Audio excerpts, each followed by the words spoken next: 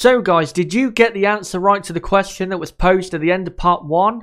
Well, let's see, because the answer was quite clearly D, all of the above. And in part 2, we're going to illustrate exactly how all of the three things above happened. In a second half of the season for Ferrari that was even more dramatic than the first half.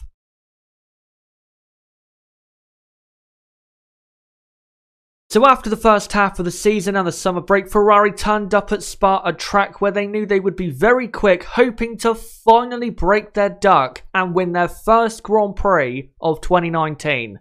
And during practice and qualifying, Ferrari clearly had the best car on the grid and in qualifying locked out the front row, with Charles Leclerc getting another pole position and being on pole by 7 tenths of a second.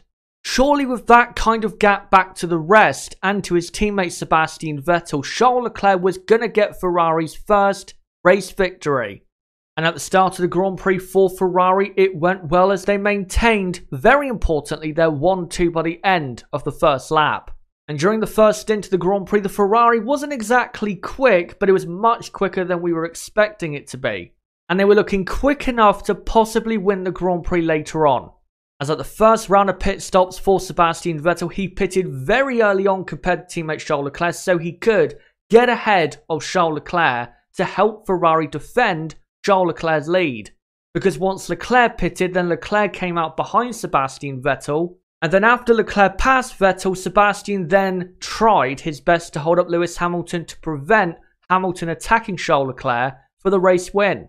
And Sebastian, I think, did the best he could, but Lewis Hamilton was simply too quick in a Mercedes car that during the race was probably the quicker car. And after this, Sebastian Vettel pitted once again and finished in P4 after doing a good job, I think, for the team. And did well enough for the team for Charles Leclerc to have a good gap back to Lewis Hamilton so Charles Leclerc could just about hang on. And despite Lewis Hamilton catching Leclerc very quickly at the end of the Grand Prix, Charles Leclerc did just about hang on to win his first Grand Prix in Formula One and take Ferrari's first win of 2019. Something that was very, very long overdue. And considering the circumstances of the weekend, Charles Leclerc's performance was truly brilliant. Because, of course, after qualifying, Antoine Hubert, his good friend, sadly passed away. So to put in that performance on the Sunday and get the race win again is a truly magnificent drive and was one of the most emotional moments of 2019. And with a week later it being their home race for Ferrari, the Italian Grand Prix of Monza, surely considering the high speed elements of the circuit and how the Ferrari car normally performs at those type of tracks, surely Ferrari after getting their first win were going to get their second straight away. But as usual with Ferrari, it was nowhere near as simple as that. Because firstly in qualifying they did not lock out the front row even though they did get pole position with Charles Leclerc Mercedes were very quick in P2 and P3. Sebastian Vettel ended up in P4 because simply he missed out on doing a final lap because of the chaos that occurred in qualifying 3. Before we get into the race though, I just need to clarify one thing. Because I've seen plenty of people kind of lying about this. And the thing is, is this whole narrative that Charles Leclerc refused to give Sebastian Vettel a slipstream for qualifying 3.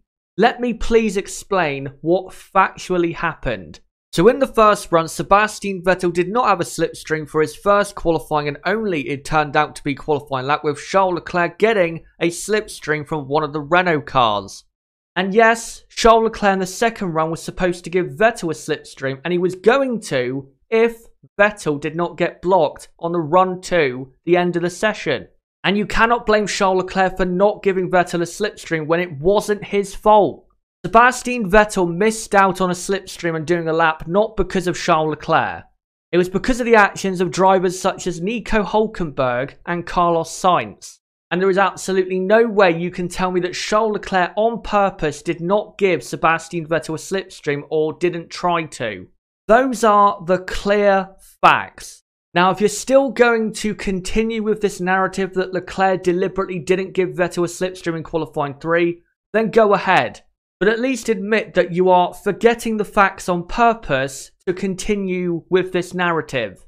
But into the race we got, and Charles Leclerc at the start of the Grand Prix just about maintained the lead as Sebastian Vettel dropped down to 6th place behind Hulkenberg and Ricciardo who were having a great weekend for Renault. Soon enough though, by lap 5, Sebastian Vettel got his way past both Renaults and started to catch Valtteri Bottas for P3.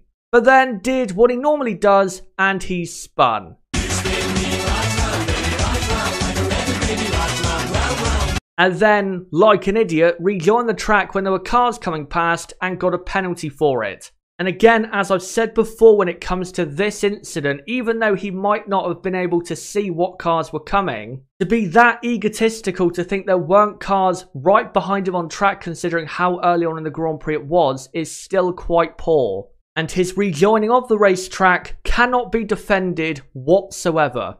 And this is absolutely one of the worst cases of driving from Sebastian Vettel and he'd go on to finish out the points because of a new front wing being put on his car and because of a penalty he was given. Meanwhile, back at the front in the first stint of the Grand Prix, Charles Leclerc was just about hanging on to his lead. And once he pitted for his only pit stop, he was still just about in the lead, but then once Lewis Hamilton pitted, it was really game on. With Hamilton on, the fresher tyres, and Lewis was now pushing very hard for the race win. And going up to the second chicane, once Lewis Hamilton got a chance to go for the move, Charles Leclerc very, very aggressively defended his position, forcing Lewis Hamilton off the track. Now, as I said just after the Italian Grand Prix, I still believe Charles Leclerc should have been penalised for this because he crowded another driver off the track. And I think Lewis Hamilton at this point really did deserve a bit more space than he got, but that's the way it was. And during this period as well, Charles Leclerc would jump over the first chicane as he was under a lot of pressure now from Lewis Hamilton, who was still pushing very hard. But then once Lewis Hamilton's tyres started to go away, Valtteri Bottas, who pitted even later than Lewis Hamilton, was starting to catch as well. And then once Hamilton went off the track at the first chicane, Bottas was up to second, meaning Leclerc had a new rival for the race win. But because of small mistakes made by Valtteri Bottas right before the end, Charles Leclerc was able to hang on to win the 2019 Italian Grand Prix. In one of the best moments of the 2019 season as a whole, and easily Ferrari's best moment of 2019. And despite me thinking on one occasion Leclerc's defence was a bit too aggressive, his drive at Monza was one of the best of the season that cannot be doubted whatsoever. The hold off Bottas and Hamilton, who were very, very quick in the second half of that Grand Prix, was brilliant. And he showed what he really can be for Ferrari going into 2020. And of course, with the race win for Ferrari, the Tifosi went absolutely mental. As they should, but Ferrari now coming away from Spa and Monza knew that winning races for the rest of 2019 was going to be pretty hard because Spa and Monza are the two biggest power tracks in Formula One, and going to Singapore, nobody really thought Ferrari were going to be competitive. But then brought a game changing update to the Singapore Grand Prix, a new front wing design and a new rear floor. And that gained them enough lap time to be very competitive in Singapore and a lot more than we thought they would be. And was competitive enough for Ferrari to get pole position yet again for the third time in a row with Charles Leclerc despite Leclerc on his qualifying lap almost losing the car two or three times, in a ragged but superb pole position.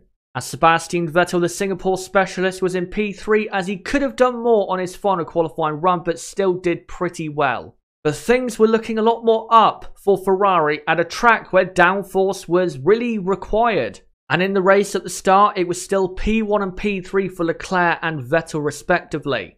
And then once we got to the first round of pit stops, this is where Ferrari won basically the Singapore Grand Prix by pitting Sebastian Vettel one lap before Charles Leclerc and then Vettel put in a fantastic outlap, gaining about 4 seconds on Charles Leclerc during the outlap and Leclerc then pitted one lap later. And Leclerc came out in second place with Vettel in first place. Of course, a net first and second once all the cars ahead had pitted.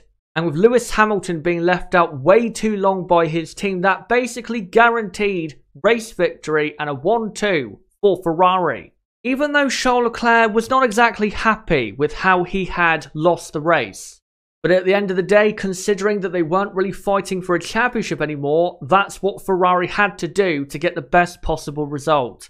And for the first time in a while, a great strategy by Ferrari, who would have thought that? So not only in the first three races after the summer break did they get their first race victory, but also their first 1-2 of 2019. And after qualifying in Russia where Charles Leclerc was easily on pole position and could have been on pole position by even more time, if he didn't have such a scruffy final sector, Ferrari were looking in a dominant position pace-wise. Sebastian Vettel in qualifying in Russia didn't exactly do the best job in P3, but was still looking okay for the start of the Grand Prix. Because we know the slipstreaming down to turn 2 in Russia does allow P3 to be in a good position for the start of the race. And that's exactly what happened as Sebastian Vettel from P3 passed Lewis Hamilton and Charles Leclerc and got into the lead. And in the first 15 laps, because Mercedes were on the harder compound tyres that were simply not working in that Grand Prix, Ferrari completely dominated and ran away with the race in the first 15 to 20 laps. And it was looking like as long as nothing went wrong, Ferrari were going to completely wipe the floor with Lewis Hamilton and Mercedes. This is despite Charles Leclerc getting very angry that Sebastian Vettel was still ahead of him as he thought Vettel should have let him through. Even though Vettel was clearly faster in the first stint of the Grand Prix and didn't have to. Eventually, the first round of pit stops, they would swap that around by putting Charles Leclerc on, of course, the better strategy. But to be honest, they didn't really have to do this because, again, their drivers were not fighting for the Drivers' World Championship, so I don't understand why they would be favouring one driver over another at this point. But by this point of the Grand Prix, where it was still in a net position of 1-2-4 Ferrari, surely nothing could go wrong. But of course, it's Ferrari, it did.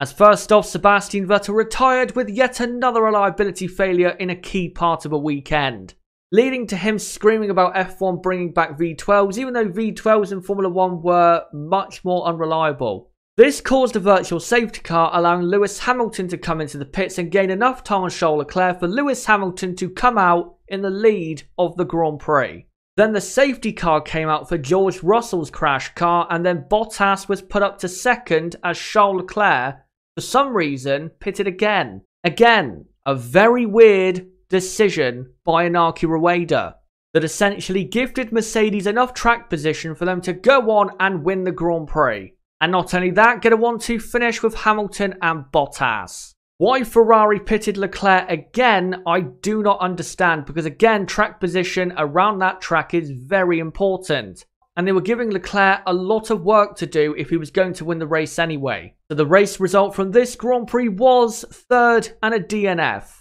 when by lap 20 it was looking like a guaranteed 1-2 finish. If that doesn't sum up Ferrari in 2019, I don't know what does. But Ferrari's pace at this point of the 2019 Formula 1 season was still very strong and going to Suzuka, another high-speed circuit, Ferrari was still looking good. And at the end of the day, the Russian Grand Prix was just one bad race after three race victories. Surely Ferrari would just bounce back. And they did first of all in qualifying on the morning of the Grand Prix by getting a 1-2 of Vettel and Leclerc. And with the speed we saw in a straight line from the Ferrari around Suzuka, surely if they maintain the lead on the first lap, it'd be very hard to beat them in the Grand Prix. And with the front row completely locked out, what could possibly go wrong?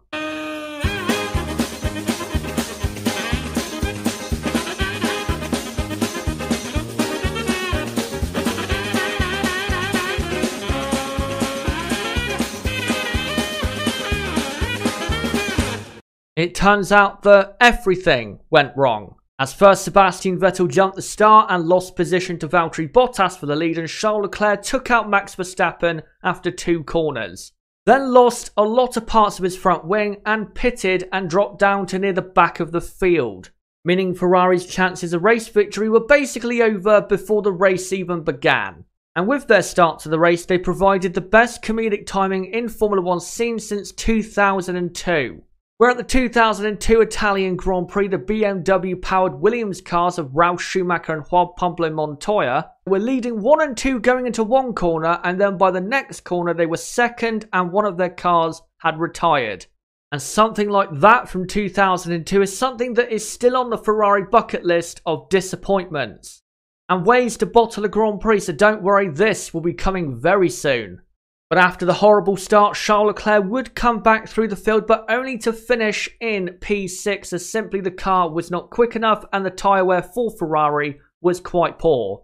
And by certain parts of the Grand Prix, he couldn't even match Carlos Sainz on pace, as Carlos Sainz ended up beating Leclerc in the Grand Prix. And let's also not forget Ferrari showing at the start of the Grand Prix after Charles Leclerc's contact with Max Verstappen a real lack of professionalism in not bringing Charles Leclerc into the pits with his clearly damaged front wing. And they cannot be forgiven for not bringing Charles Leclerc in straight away because clearly that front wing was not fit for purpose. And leaving him out on track was endangering not only the drivers, but the fans and the marshals as well. And Ferrari deserved the punishment they got for that. For Sebastian Vettel, though, he did probably the best he could again considering how poor the Ferrari car was in terms of race pace. And did just about enough by the end of the Grand Prix to hold off Lewis Hamilton, despite Lewis Hamilton being on much fresher tyres for the end of the Grand Prix. But second and sixth from a front row lockout was not the result Ferrari were expecting or even hoping for. And from this point on, their season doesn't really get any better at all. Because in the next race in Mexico, even though they had a very quick car, Max Verstappen did get pole position until his mouth got him in trouble. Meaning that Ferrari would end up locking out the front row for the starting grid of the Mexican Grand Prix. Surely this time, Ferrari would get the race victory. Well, after the start, it was looking pretty likely as they did have a 1-2 in the first 10 to 15 laps. But then, the strategical mistakes of Ferrari came. As first, after Alex Albon pitted for another set of medium compound tyres, Charles Leclerc did exactly the same. When if Ferrari actually concentrated on the tyres Albon went onto, they would have seen that Albon was clearly on a two-stop race. But obviously they weren't concentrating as Leclerc was put on the same tyre.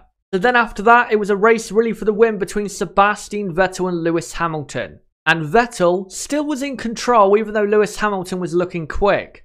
Once Lewis Hamilton pitted for an undercut on Sebastian Vettel, surely Ferrari would pit a lap later with Vettel to cover that off. No, they didn't. They did not cover it off and they left Vettel out way too long and basically lost the Grand Prix.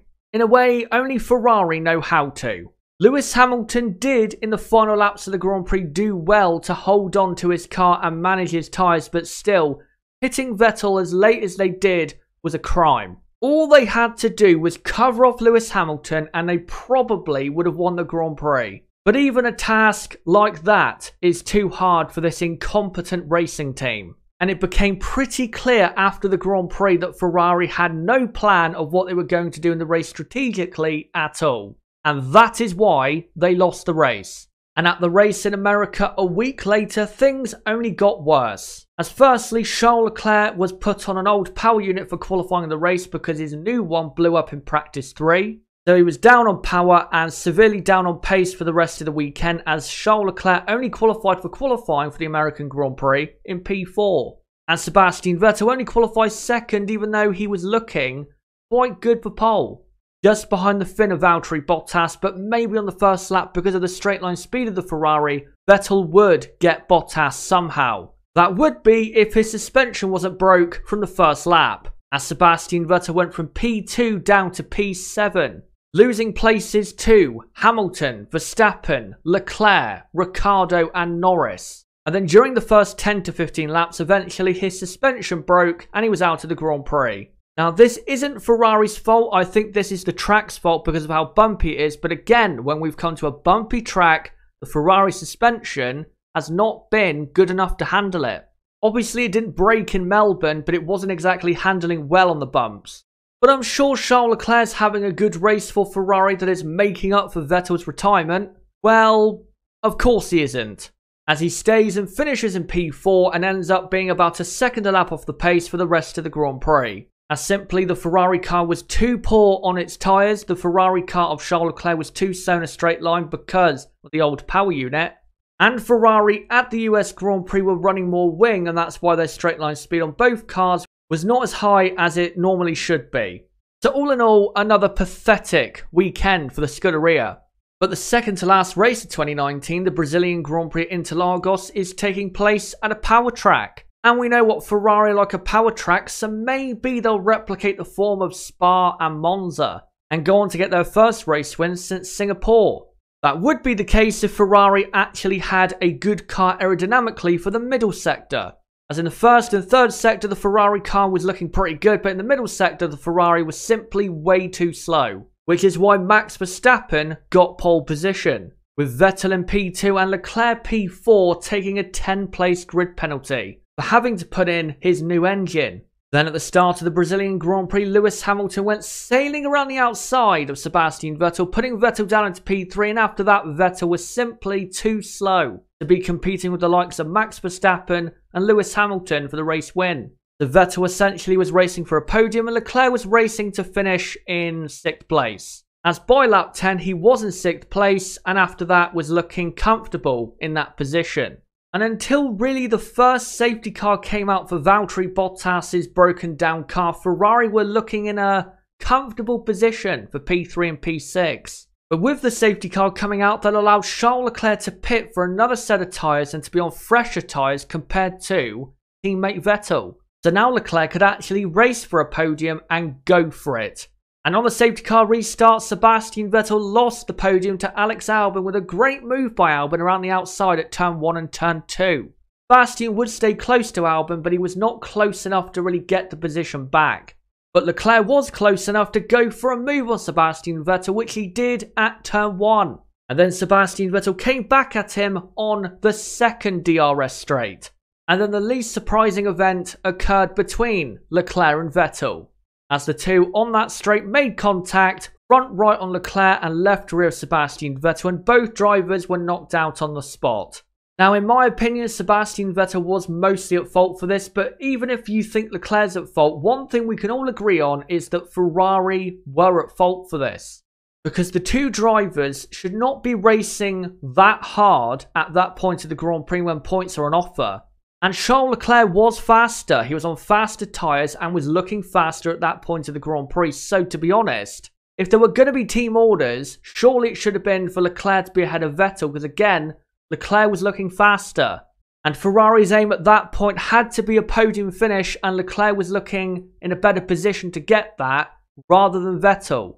And this is why I said in part 1 with the whole racing in Hungary for P3 why Ferrari is such a poorly managed racing team. Because this situation could have been managed by Mattia Binotto a lot better than it was. And because of a lack of clarity and lack of leadership on the pit wall, this was inevitable Ferrari. Especially after the comments of Mattia Binotto at the start of 2019 saying that Sebastian Vettel would be favoured in tight situations which was clearly going into the season as we saw the wrong directive to take. And of course, with both cars being knocked out of the race, that was their hopes of winning one more race in 2019 basically dead.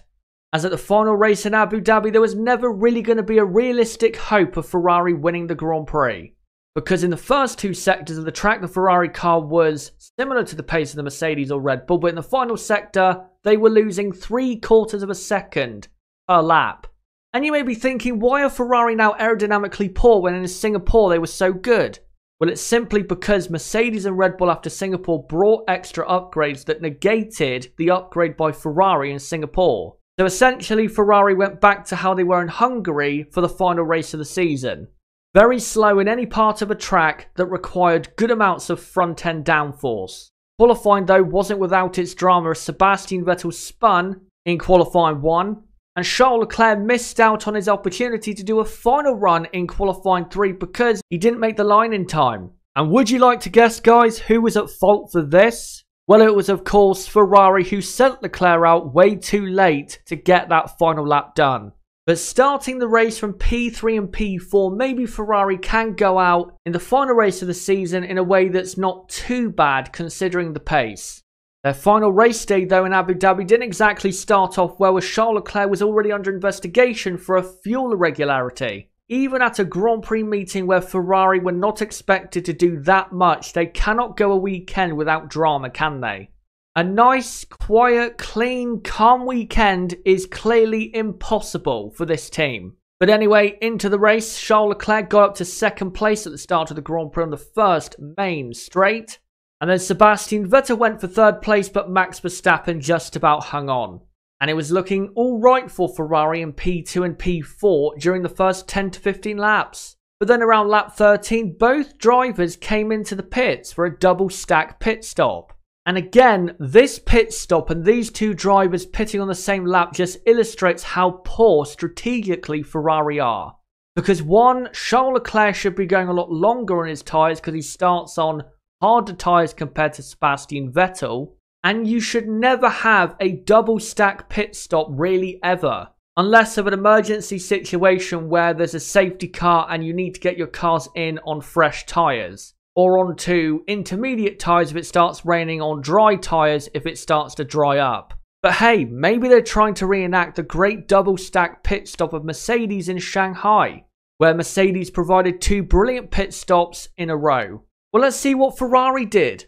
Well, the first one's gone alright, and the second one is a complete horror show. that ends up costing Sebastian Vettel enough time to not be anywhere near a podium finish by the end of the Grand Prix. As Sebastian Vettel would end up finishing in P5 again despite being held up for so long behind midfield cars. Charles Leclerc though, because he was pitted so early and Max Verstappen pitted a lot later, was then overtook by Max Verstappen. Because one, again, Ferrari pit him way too early in the Grand Prix despite him being on the harder compound tyre compared to Sebastian Vettel. And Charles Leclerc, again, similar to Austria, did not put up a good enough defence against Max Verstappen, giving Max enough space on the inside to make the move work.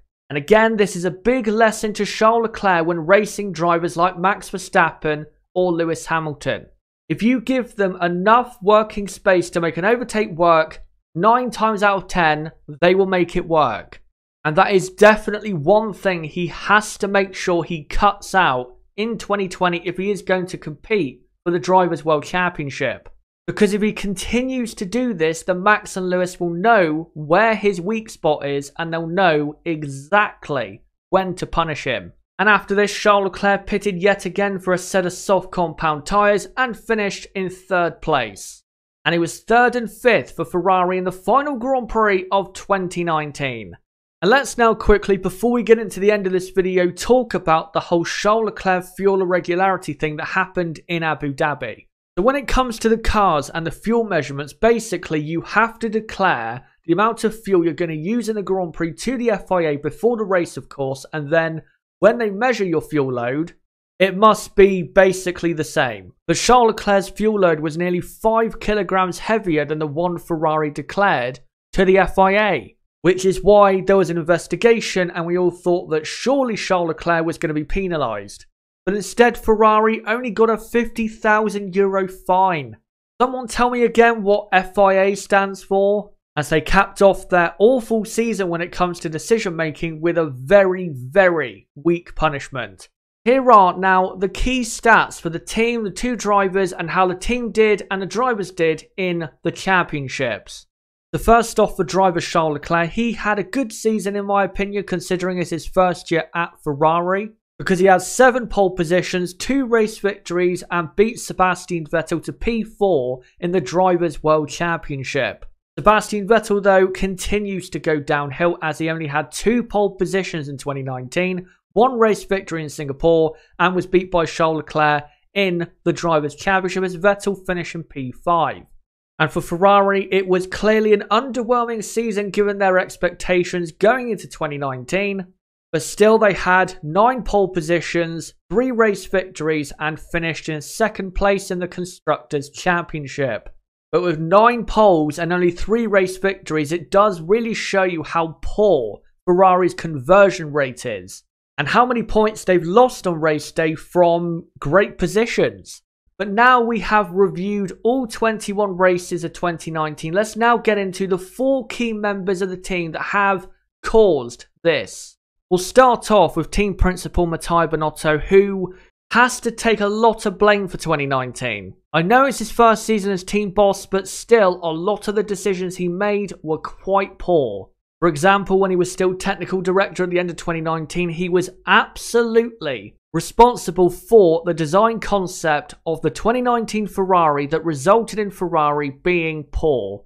especially at tracks where it required good amounts of downforce. And even at the end of the season, he finally admitted that Ferrari lost the World Championship when they designed their car. Nice to see that he's not in denial anymore, hopefully. Also, keeping people in the team who are clearly not fit for purpose is another poor decision by Binotto. One person who he's kept around still comes to mind who we will get onto soon enough. But at the end of the day, if you're a team boss, you've got to make the right decisions and forget about emotions. If there are people in your team that are clearly not good enough, you must get rid of them if you're going to improve. It's not a complicated system. Also, his management of the two drivers, in my opinion, has been poor. Again, going back to the quote of Sebastian Vettel being favoured in certain situations, from the moment he said this, I knew it would be a poor decision. Because Charles Leclerc did not come to Ferrari to be a number two driver. If they wanted a number two driver, then they may as well have kept Kimi Raikkonen. And saying this, knowing Charles Leclerc was now part of the team, was very stupid. But altogether, Mattia Binotto as a team boss, I don't think in the end will turn out to be good enough. I am willing to give Binotto another season because I think in the second season we could see improvement. But after what I've seen this season, I don't quite like what I see. What I see is a team boss who is mentally not strong enough for this job. And I don't think Binotto can quite cope with the pressure of being the team boss for the Ferrari Formula One team. And he definitely does not have a strong enough personality like previous team bosses in Ferrari F1 history to be a success. And I have seen no evidence whatsoever to suggest that he's better than Maurizio Arrivabene as team principal. Again, I'm willing to give Binotto another year, but if he doesn't get it right next year and has another poor season from his perspective, he has to go. Next is the Ferrari strategist Iñaki Rueda, someone who you guys know I like very much. But in all seriousness, Iñaki is very poor when it comes to strategy. He is so poor at what he does that I actually think I and many of you guys watching right now could do better in his role. Now, I'm not going to get into right now all of the mistakes because there has been plenty and it would be me just repeating myself. But let me just put it this way Iñaki Rueda is incompetent at his job. And someone who is incompetent at what they do is never really going to improve. And they'll just end up being a disease for the team for whatever they want to actually achieve. And as long as Ferrari keep Iñaki Rueda at their team, Ferrari will never win a world championship. And I think I can probably say the same for Mattia Binotto as team boss as well. But definitely with Iñaki Rueda, Ferrari are never, ever going to win a world championship. And then we come to the two drivers, Charles Leclerc and Sebastian Vettel. Firstly, for Charles Leclerc, it's been definitely a good year. He's been very fast this year, of course, getting the most pole positions out of anyone in 2019. But he does still have much to learn and has been at times this season a bit inconsistent. For example, around the Belgian and Italian and Singapore Grand Prix, he was very quick and quite simply great. But then by the end of the season, if you forget Abu Dhabi, he was not as good as he was. But at the end of the day, he's only 22 years old. I would expect that of a 22 year old. And as long as Charles Leclerc can continue to improve and learn from his mistakes, I think Leclerc will be, as a driver, fine. The only worry from me for Charles Leclerc is can the team give him what he needs to win a world title? I'm not quite sure they can, but we'll see. And for Sebastian Vettel, it's the same old story. Too inconsistent, too many mistakes being made, and he is definitely past his best.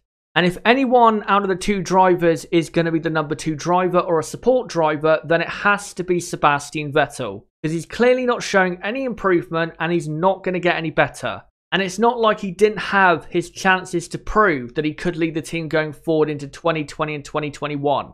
During 2019, all he had to do as a full time world champion and a supposed great of the sport was prove that he was better than Charles Leclerc so he can lead the team forward, and he didn't prove that. So, again, you can't say that Sebastian hasn't had his chance to prove himself. He has, and he hasn't proved himself enough. Yes, he has races where he's good, but has also other races where he's not so good and making key mistakes. And it's about time that Sebastian Vettel starts looking for what options are going to come after Ferrari. And it's about time that Ferrari start looking at possible replacements for Sebastian Vettel after his contract is up at the end of 2020. But honestly, forgetting 2017 and 2018 and the problems of those particular seasons, the reason 2019 became a disaster was because they got rid of Maurizio Arrivabene. Was Maurizio perfect as a team principal? Was he great? No, he probably wasn't. But he was a lot better than Matteo Binotto as team boss, and there was not enough evidence to sack Arrivabene over Binotto. And unless Binotto in 2020 proves himself to be a very good team boss, that decision will go down as a poor decision. Because at the end of the day, if you look back at 2018, Arrivabene was not one of the main causes of why in 2018 Ferrari failed to bring home either the drivers or constructors title. The main culprits for that were Vettel, Rueda and Binotto. But instead, they got rid of Arrivabene because it was very easy to scapegoat Arrivabene for the failures of 2018 and he was the easiest one to get rid of in a similar situation to when a football club in soccer for any Americans gets rid of their manager despite the manager not being the problem and it being more so the players or the culture of the club. Arrivabene was not the problem. And from that moment on, when they got rid of Maurizio, I knew that 2019 was not going to be quite what Ferrari were hoping for. Maybe they'd be quick, but they weren't going to be winning world championships straight away with a young team boss. And whatever you say about Maurizio Arrivabene, you cannot argue that he improved Ferrari so much in his time as team boss. He took Ferrari from being a poor team to a team that was able to win races and then to a team that was able to go for the world championship. Yes, on a couple of occasions they did miss out and made a lot of mistakes, but he improved the team going forward. If you look at Binotto in his first season alone as Ferrari team boss, he has took that team backwards in basically every area, except really for straight line speed. And because Ferrari got rid of Maurizio Arrivabene and not the other people that were more so the problem, Ferrari are still in kind of a denial phase. A denial that certain people such as Vettel or Rueda or Binotto are the problem. And until they actually admit that those certain people in those certain areas are the problem, then Ferrari are not going anywhere and will continue to bottle it and continue to be a massive disappointment to every single Ferrari fan around the world. And in 2020, I don't really see this changing at all. But the best way to describe Ferrari in 2019 is this. Mission failed. We'll get them next time.